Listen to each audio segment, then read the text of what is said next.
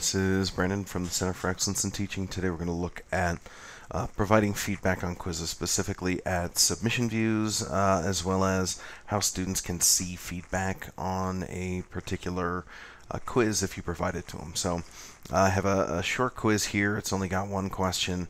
Uh, I've got two attempts. One of them didn't have a question in it, but uh, the second one does. So we're going to take a look at that.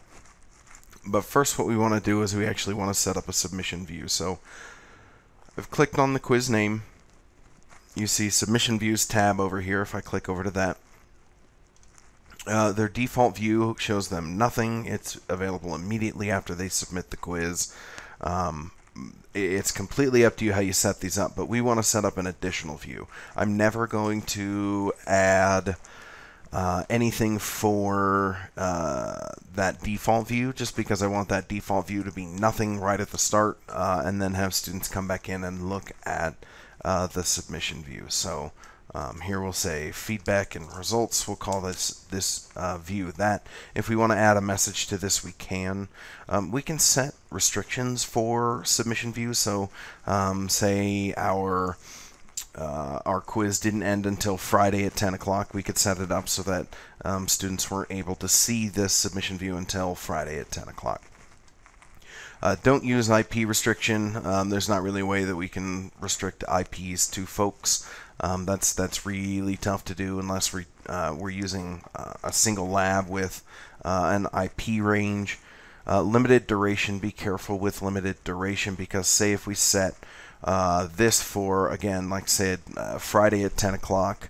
Um, and then we limit the duration to 45 minutes. Well, that's uh, 45 minutes after the quiz is submitted.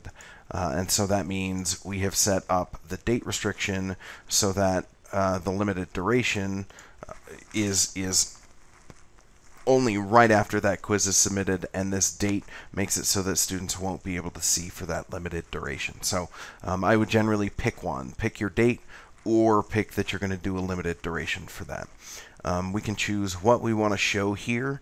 Um, so a lot of the time what we'll say is, uh, yes, we want to show questions. Um, you can do show all questions with user responses. Uh, you can choose whether or not to show answers for uh, multiple choice and things like that.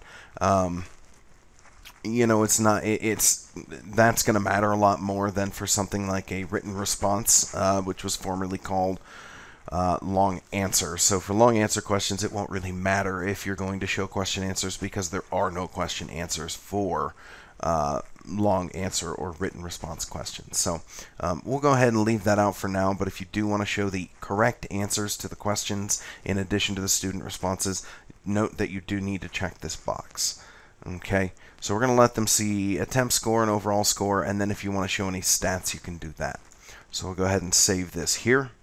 Now we have a submission view on our quiz. I'm going to go back uh, by clicking Save and Close to just the quiz list, and then we're going to grade uh, the student's second attempt, which will actually have uh, the question in there. So uh, if I go ahead and scroll down, I can see there's two attempts. I did one this morning.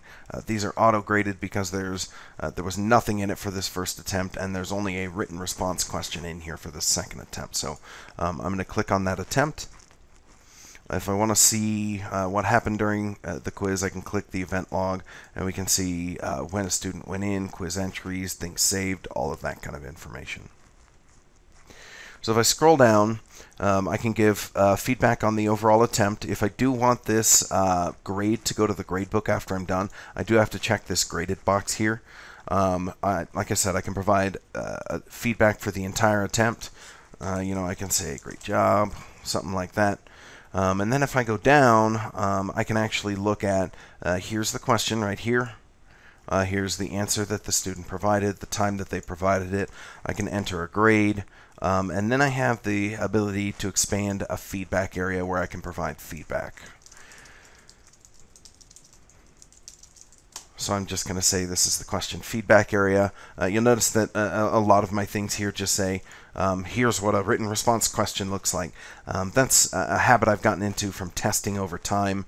Um, it makes it so that uh, when we go in and we view this from the student side, um, like I can go back up here and say, this is the overall attempt feedback. uh, so that we can tell the difference between these once we get to the other uh, the other side. So um, I've graded it. I've provided feedback. I'm going to go ahead and hit save and close.